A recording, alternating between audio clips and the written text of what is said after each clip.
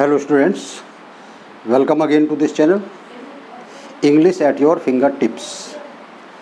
Students, आज हम जो हमारी सीरीज़ चली हुई है टाइम एंड टेंस उसका पार्ट एट एक्सप्लेन करेंगे। यानी आठवां टेंस आप कह सकते हैं कि आज हम आठवां टेंस टोटल बारह टेंस है, बारह में से आज आठवां टेंस हम शुरू करेंगे। Past perfect continuous tense past perfect continuous tense की पहचान क्या होती है? जिन सेंटेंसेस के अंत में रहा था, रही थी, रहे थे, हुआ था, हुई थी, हुए थे, आदि शब्द दिए होते हैं। रहा था, रही थी, रहे थे, हुआ था, हुई थी, हुए थे, आदि शब्द दिए होते हैं। यानी पास्ट टेंस में पास्ट में कार्य का लगातार जारी रहना दिया होता है। अब देखिए, इतनी पहचान जितनी मैंने बताई है कि पास्ट में लगातार कार्य का जारी रहना, हुआ था, हुई थी, हुए थे, रहा था, रही थी, रहे थे आदि शब्द पाए जाते हैं। ये सिंपल कॉन्टीन्यूस की भी पहचान है। तो डिफरेंस इसमें क्या है कि यहाँ कार्य के जारी रहने का समय भी दिया होगा। पास्ट में कार्य का जारी रहना सेंटेंसेस के अंत में रहा था, रही थी, रहे थे, हुआ था, हुई थी, हुए थे होना, और कार्य के जारी रहने का समय भी दिया होना, यदि दिया होता है तो वो पास्ट परफेक्ट कॉन्टीन्यूस टेंस की पहचान होती है। तो पहचान में क्या था? रहा था, रही थी, रहे थे, हुआ था, हुई थी, हुए थे। यानी कार्य का पास्ट में निरंतर जारी रहना पाया जाता है और साथ ही साथ कार्य के जारी रहने का समय भी दिया होता है। तो जिन सेंटेंसेस की ये पहचान होती है, उनको हम पास्ट परफेक्ट कॉन्टीन्यूस टेंस के अंतर्गत रखते हैं। किस तरह से ट्रांसलेशन करते हैं? अफर्मेटिव के लिए क्या रूल्स हैं? क्या फॉर्मेशन होगी? नेगेटिव सेंटेंसेस के लिए क्या रूल्स होंगे? क्या फॉर्मेशन होगी? एक एक करके देखते हैं। सबसे पहले देखते हैं अफर्मेटिव सेंटेंसेस कौन से होते हैं स्टूडेंट्स अफर्मेटिव सेंटेंसेस जिनमें किसी स्टेटमेंट को स्वीकार कर लिया जाता है। और इसको हम, इन सेंटेंसेस को हम पॉजिटिव सेंटेंसेस भी कहते हैं। तो अफर्मेटिव या पॉजिटिव सेंटेंसेस स्टूडेंट्स इन सेंटेंसेस में, इस टेंस में सभी सब्जेक्ट्स के साथ, चाहे वो एक वचन सब्जेक्ट हो, चाहे वो बहुवचन सब्जेक्ट हो यानी सिंगुलर सब्जेक्ट हो या प्लूरल सब्जेक्ट हो या सब्जेक्ट के रूप में आई दिया हो, सभी के साथ हम एक ही हेल्पिंग वर्ब लगाते हैं और वो क्या होती है? हैड बीन तो सब्जेक्ट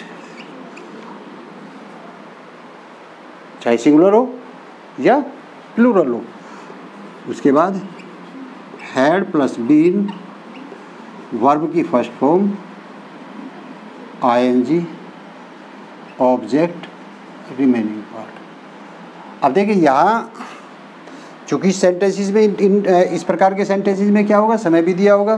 तो जो समय दिया होगा उसके पहले हम क्या लगाएँगे? सिंस और फोर और फिर बाद में लगाएँगे हम क्या? जो टाइम दिया होगा। बाद में फुल स्टॉप सिंस ये हम पहले भी डिस्कस कर चुके हैं प्रेजेंट परफेक्ट कंटिन्यूस टेंस में कि यदि पॉइंट ऑफ़ टाइम दिया होता है यानी निश्चित समय दिया था उसके लिए हम सिंस का प्रयोग करते हैं। और यदि पीरियड ऑफ़ टाइम दिया होता है, यानी अनिश्चित समय दिया होता है तो उसके लिए हम फोर का यूज़ करते हैं। अब देखिए क्या होगा सब्जेक्ट उसके बाद हेड फिर बीन वर्ब की फ़र्स्ट फॉर्म में आएंजी देखिए सिंपल कॉन्टीन्यूस में वर्ब की फ़र्स्ट फॉर्म में आएंजी लगती थी, जब वाज वर्ग का प्रयोग हम करते थे, यहाँ भी हेड बीन का प्रयोग करते हैं, लेकिन वर्ब की फ़र्स्ट फॉर्म में हम आई लगाते हैं। ऑब्जेक्ट रिमेनिंग पार्ट फिर सीन्स और फोर उसके बाद टाइम देखिए एक एग्ज़ाम्पल से देखते हैं। वह बहुत सालों से इस मकान में रह रहा था। अब देखिए, यहाँ इस सेंटेंस में हम देखें तो इसमें काम क्या है? मकान में रहने का। पास्ट में लगातार चल रहा था। और उसके चलने का समय भी दिया है। कितने कितने दिनों से चल रहा था ये कार्य? बहुत सालों से चल रहा था। तो क्या हो जाएगा? ही और उसके साथ had been he had been living in this house अनिश्चित समय है, यानी पीरियड ऑफ़ टाइम में तो हम क्या लगाएँगे? For for many years he had been living in this house for many years इसी तरह से मैं 1990 से अंग्रेज़ी पढ़ा रहा था। अब देखिए, इसमें क्या कार्य है? इसमें अंग्रेज़ी पढ़ाने का। लगातार पास्ट में जारी रहना है, और जारी रहने का समय भी दिया है, कब से चल रहा है कार्य? 1990 से।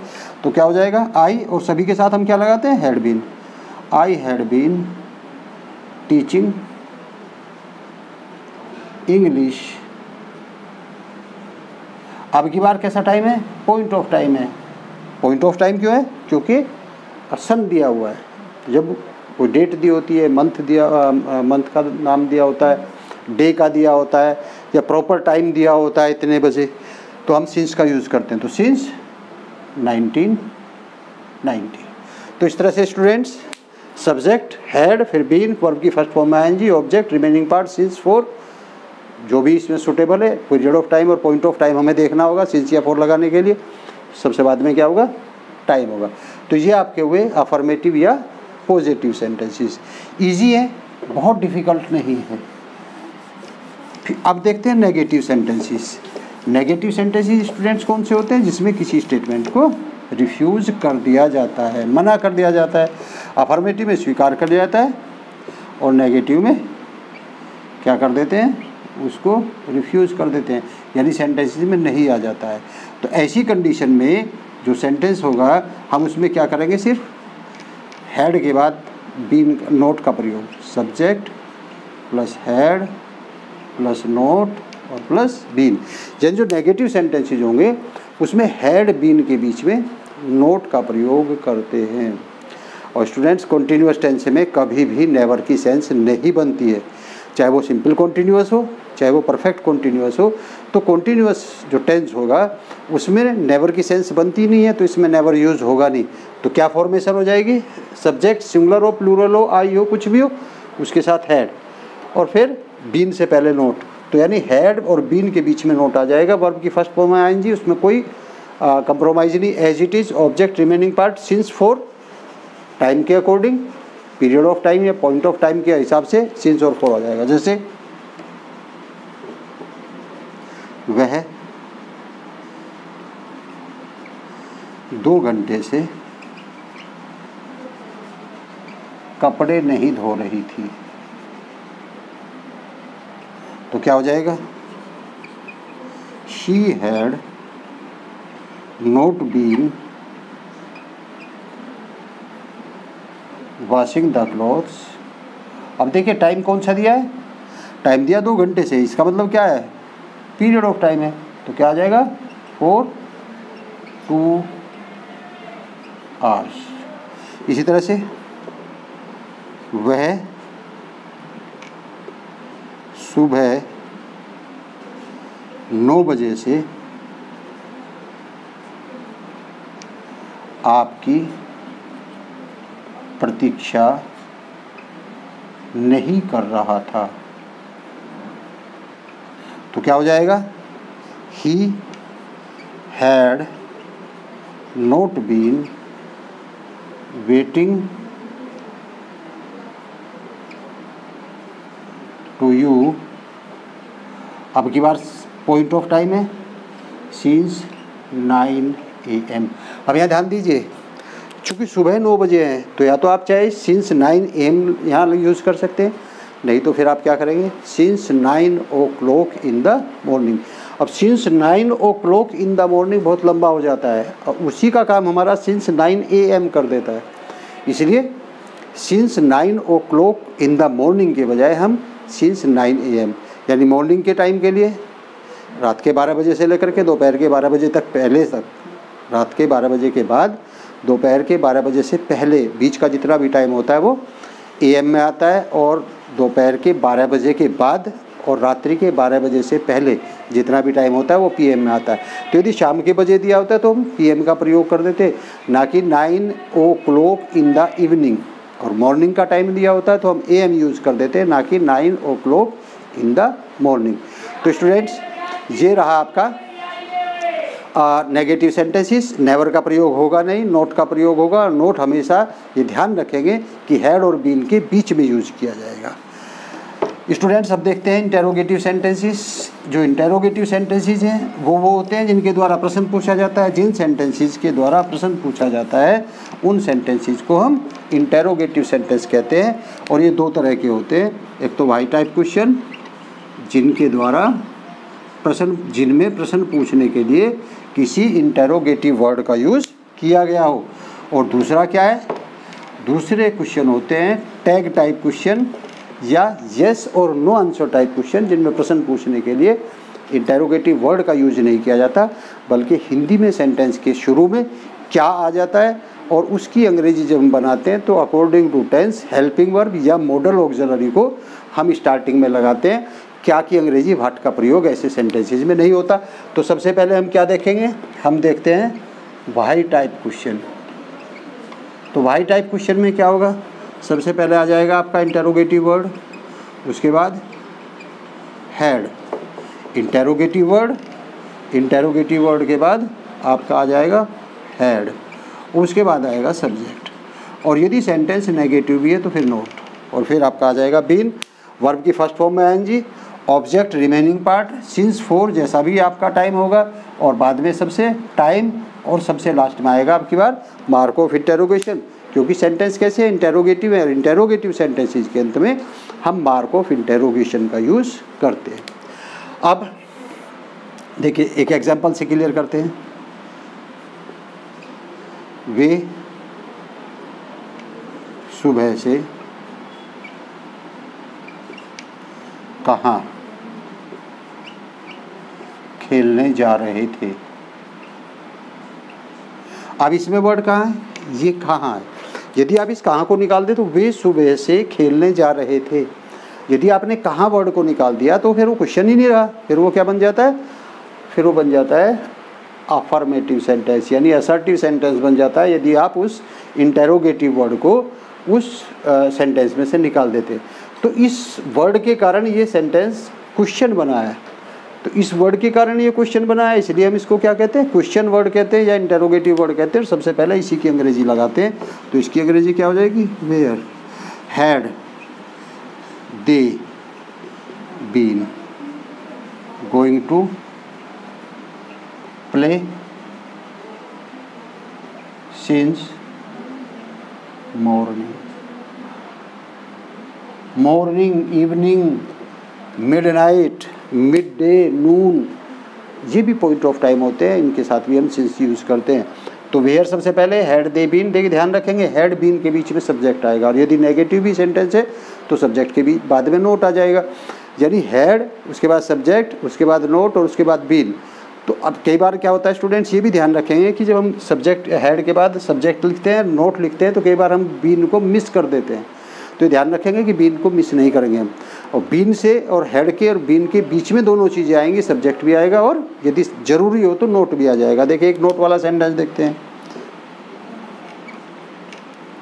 वह दो घंटे से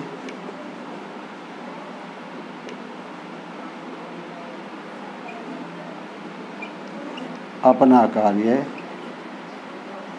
क्यों नहीं कर रही थी?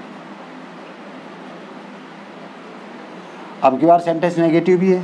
तो सबसे पहले हम ये देखेंगे किसके कारण ये क्वेश्चन वर्ड बना, क्यों के कारण बना है? क्योंकि यदि आप इसे निकालते वह दो घंटे से अपना कार्य नहीं कर रही थी तो फिर सेंटेंस असर्टिव बन जाता है नेगेटिव बन जाता है। इस वर्ड के कारण ये क्वेश्चन बना है, वह दो घंटे से अपना कार्य क्यों नहीं कर रही थी? तो क्यों वह शब्द है जिसके कारण ये सेंटेंस क्वेश्चन बना है? तो पहले इसी की इंग्लिश हम लगाते हैं तो क्या हो जाएगा? वाई हैड शी अब नेगेटिव भी है तो यही नोट और फिर उसके बाद बीन तो why had she not been doing her work period of time दिया, दो घंटे से तो क्या हो जाएगा? For two hours why had she not been had और बीन के बीच में शी और नोट दोनों.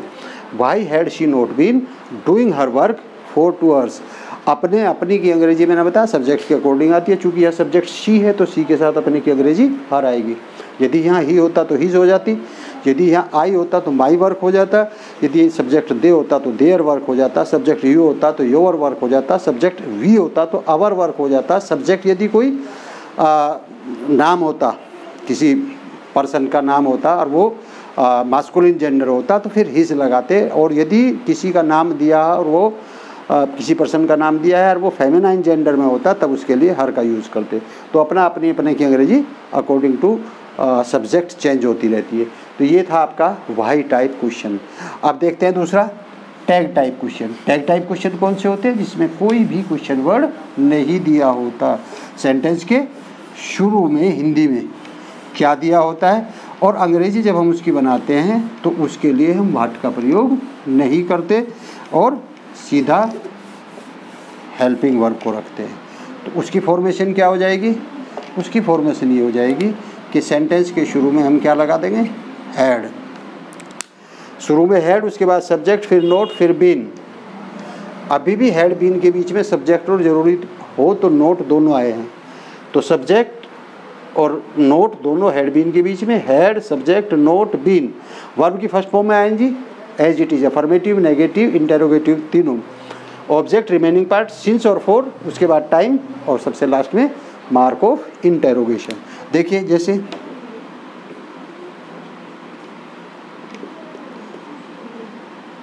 क्या आप दो सालों से हमें धोखा नहीं दे रहे थे? क्या हो जाएगा? Had you not been cheating us अब देखिए क्या है? दो सालों से तो period of time for, two hours. क्या हो जाएगा? Had you not been cheating us for two hours क्या आप दो सालों से हमें धोखा नहीं दे रहे थे। अब देखिए, चूँकि नेगेटिव सेंटेंस था तो यू सब्जेक्ट और सब्जेक्ट के बाद नोट हैड और बीन के बीच में दोनों चीज़ें आती हैं। देखिए एक एग्जांपल और।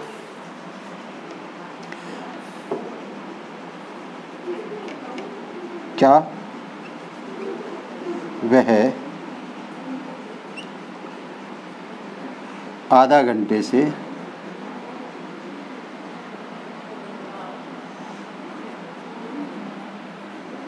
रामायण नहीं पढ़ रही थी। तो क्या हो जाएगा? Had she not been reading the Ramayana कैसा टाइम है? आधा घंटा, यानी पीरियड ऑफ़ टाइम तो क्या आएगा? फोर हाफ़ एन आर तो क्या हो जाएगा? Had she not been reading the Ramayana for half an hour तो स्टूडेंट्स ये आपका हुआ। पास्ट परफेक्ट कॉन्टीन्यूस टेंस का अफर्मेटिव कैसे बनाएँगे आप? नेगेटिव कैसे बनाएँगे? आपका इंटरोगेटिव कैसे बनेगा? और इंटरोगेटिव में वाई टाइप क्वेश्चन कैसे बनेंगे? और टैग टाइप क्वेश्चन कैसे बनेंगे? जहाँ तक यूज़ की बात आती है डिफरेंस क्लियर है। कि यदि सेंटेंस में कार्य का पास्ट में लगातार जारी रहना है और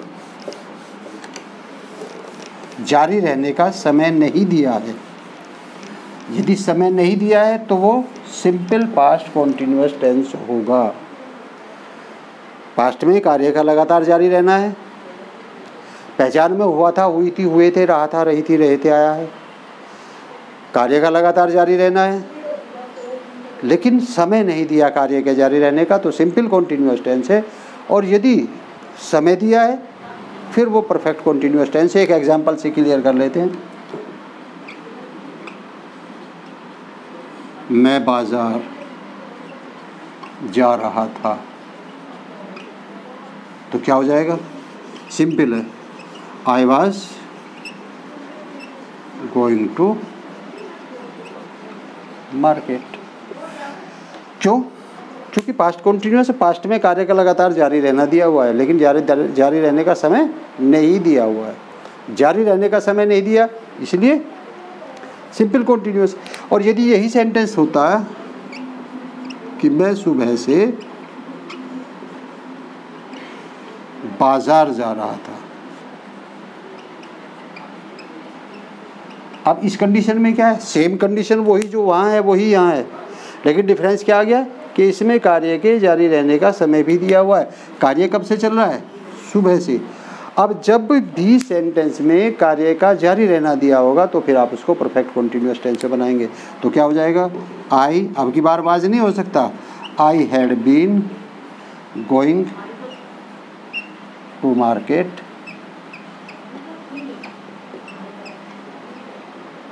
since morning और स्टूडेंट्स सीबीएसई बोर्ड की टेंथ क्लास में जो आता है गैप फिलिंग के लिए, अक्सर उसमें एक ये सेंटेंस पूछ लिया जाता है और वर्ब को ब्लैंक छोड़ दिया जाता है कि आप कौन सी वर्ब वहाँ लगाएँगे ताकि आपको ये पता हो कि कौन सी वर्ब वहाँ पर लगनी चाहिए। दूसरा, जो टेंथ में सीबीएसई का एडिटिंग का जो पोर्शन आता है, उस एडिटिंग में भी हम क्या करते हैं? इस तरह के क्वेश्चन को पूछ लिया जाता है कि उसमें वाज हमने लगा दिया, जबकि वो किसका परफेक्ट कॉन्टीन्यूस है, यानी उसमें काम का जारी रहने का समय भी दिया होता है। कई बार क्या होता है कि वो सिंपल कॉन्टीन्यूस होता है, हमने हेडबिन लगा दिया है, जबकि उसमें कार्य के जारी रहने का समय नहीं दिया होता।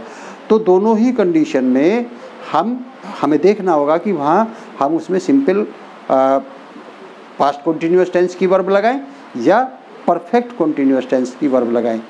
कॉम्पिटिटिव एग्ज़ाम में क्या होता है? कॉम्पिटिटिव एग्ज़ाम में स्पोर्ट एरर के लिए परफेक्ट कॉन्टीन्यूस दिया होता है। हम सिंपल कॉन्टीन्यूस में उसको देते हैं। सिंपल कॉन्टीन्यूस सेंटेंस है। हम उसमें परफेक्ट कॉन्टीन्यूस की वर्ब लगा करके आपसे पूछ लेते हैं कि बताइए किस पार्ट में ए बी सी किस पार्ट में एरर है? नहीं एरर है तो आपका आंसर हो जाएगा डी और ठीक इसी तरह से इम्प्रूवमेंट ऑफ़ द सेंटेंस में भी हम क्वेश्चन पूछ लेते हैं। एक एग्ज़ाम्पल से हम बता देते हैं आपको। एक एग्ज़ाम्पल क्या है? इस तरह से होगा। जैसे ये एक एग्जांपल ये सेंटेंस दे दिया आपका। She was playing chess with me for two hours for an hour कर लीजिए।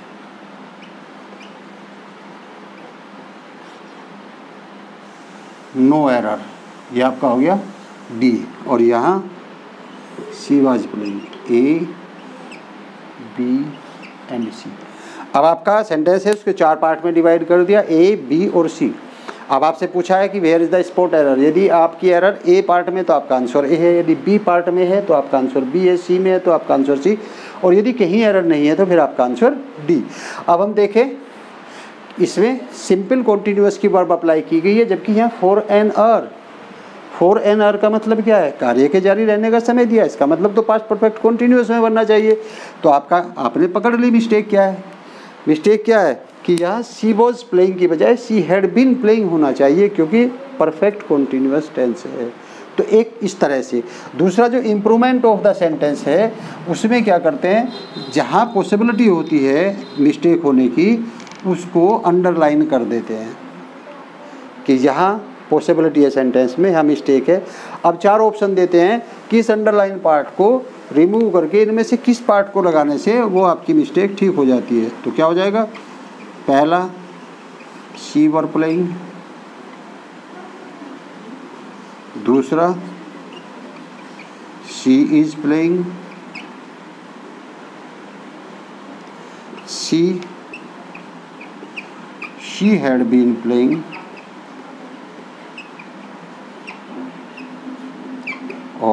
D no improvement